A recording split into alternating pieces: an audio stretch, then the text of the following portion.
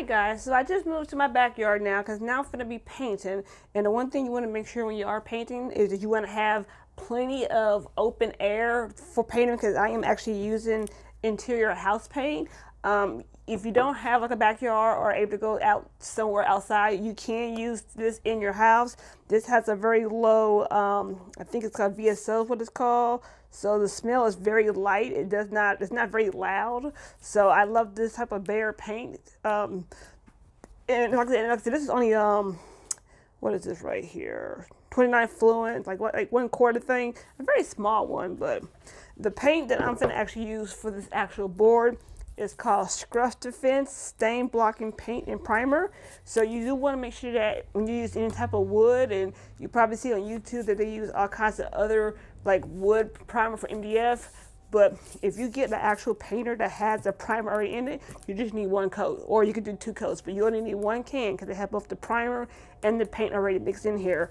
Um, and you want to make sure you do interior. Now, since I'm just using it for a basic desk, I'm using the interior satin enamel um, pure white because I don't want it glossy because they do have different type of finishes. They have like eggshell or matte or glossy or semi-gloss. And on my actual workbench, I actually use a semi-gloss and found out I really didn't like that because when I was taking pictures on it, it just was very it just it, it, just shines in my picture so I decided to go for more of a satin enamel so it, it had that smooth finish but I'm gonna be using the scruff defense because this one actually it is it, it, it has an advanced scuff and mar resistance and is actually good for durability for busy high traffic areas. It says this is going to be actually my desk I work on with my computer and stuff.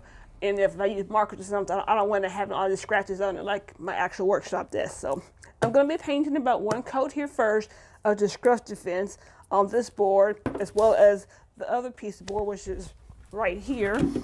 I'm to paint both of this white. This one's to stay white. I'm not sure if I'm in the frame right now, but this one's to stay plain white because, as I said, this is the 17 um, inches with long, the width, the 17 inches one that I'm going to use my product pictures. That's going against my actual white wall. So between this board being white, using this paint, and my wall white, my product pictures will look very, um, it'll pop on my product photography.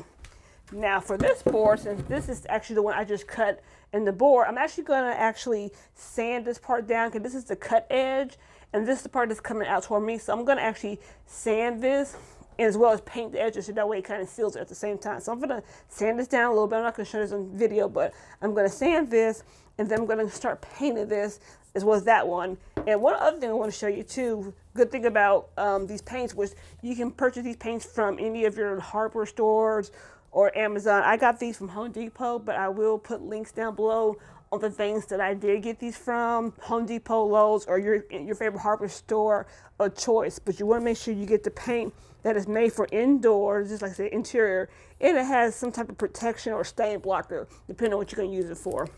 But yeah, I wanted to show you these paints because these paints right here, this is a different one. This is a stain blocking paint and primer which is this is Scruff Defense. So it's two different ones. Which honestly, I thought I was getting this brand in white, and I grabbed the wrong one. But happy accident because I do want a Scruff Defense because if I'm marking or writing stuff on it, or my laptop or monitor if it's on the desk going to be scraping the desk, it's not going to get scratches. But on this one right here, like I said, I wanted to show this to you guys because I actually have them match my brand colors, which is kind of like a blue or gold or blue and yellow.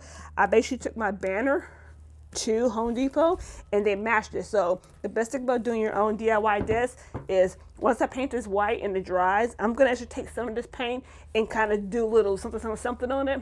Maybe drop a little jewels on it. I don't know because I am Steffy Jewels, and that's the whole idea of doing a DIY project. You can do whatever you want to your own desk. Now, if you buy a desk from any shop, you can probably do the same thing, but when you make your own, you want to make it your own. So I'm going to make this desk my own. So I'm going to paint this desk as well as the other one and then do a little something something with this one. And I'm going to come back and we're going to start assembling my, my desk. So stay tuned.